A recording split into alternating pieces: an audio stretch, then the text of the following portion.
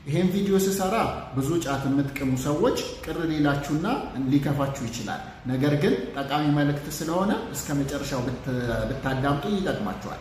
ጫት የሚቀሙት ብዙ ጊዜ ወጣቶች ናቸው። በአማካይ ከ25 እስከ 35 ያሉ ወጣቶች በብዛት ጫት ይቅማሉ። ከዛ ውጭ ያሉት አይቅሙ ማለት አይደለም።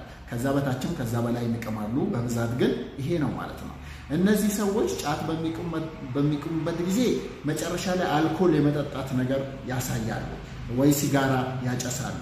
እነዚህ ነገሮች ደግሞ የታወቁ የጤና ጠንቆች ናቸው።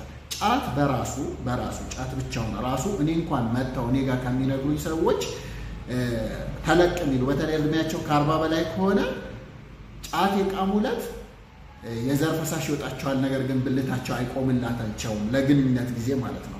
ፍላጎቱ ይጨምራል፣ ነገር ግን እቃው አይታዘዝም ማለት ነው። ስለዚህ አንደኛው ችግር ይሄን ያመጣባቸዋል ማለት ነው።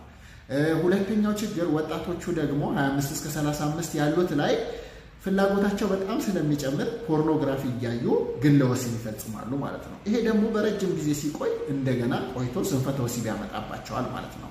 እንደዚህ በተጨማሪ ጫት የሚቅሙ ሰዎች መጨረሻ ላይ አልኮል መጠቀም ይፈልጋሉ።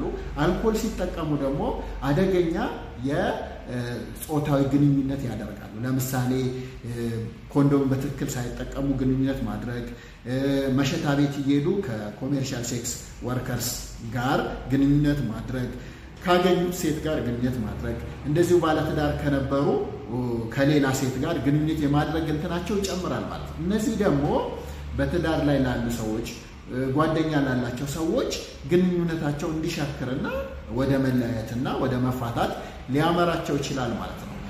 ጫት እንግዲህ በጣም በርካታ ጉዳቶች አሉት። ከገንዘብ ጀምሮ እስከ ጥርስ፣ ከዛ በጫት እስከ ማበድ አለ። በጣም ብዙ ጥናቶች ያሳያሉ። ጫት ለረጅም ጊዜ የሚቅሙ ሰዎች በከፍተኛ dose የሚቅሙ ሰዎች መጨረሻ ላይ psychopath የ psychology ችግር ይኖርባቸዋል። እስከ እብደት ድረስ ያደርሳል ማለት ነው።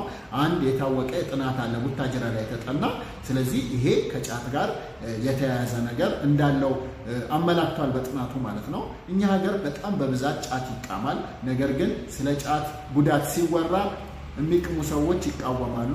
የማይቅሙ ሰዎች ደግሞ ብዙም በሌላ ነገር ስለማየው እንዲያቆሙ ነው እንጂ ወይ እንዲቀንሱ እንዲቀንሱ እንዲያቆሙ መጨረሻ ላይ ነው ማድረግ ያለብን እንጂ እነሱም ያው በግል ስናገላቸው ወይ ስንጠላቸው ሳይሆን ይህን ነገር አውቀው እነሱ ወደ ተሻለ ነገር እንዲመለሱ ማድረግ የተሻለ ነው ማለት ነው። በተለይ በግንኙነት ላይ የምትቸጋገሩ ወንዶች ጫት እንድታቆሙ በአንክሮት እመክራችኋለሁ ማለት ነው።